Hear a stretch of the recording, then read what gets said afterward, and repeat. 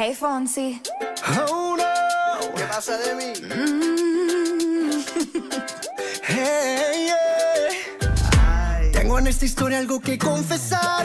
Ya entendí muy bien qué fue lo que pasó.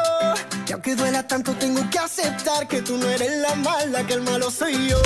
No me conociste nunca de verdad. Ya se fue la magia que te enamoró.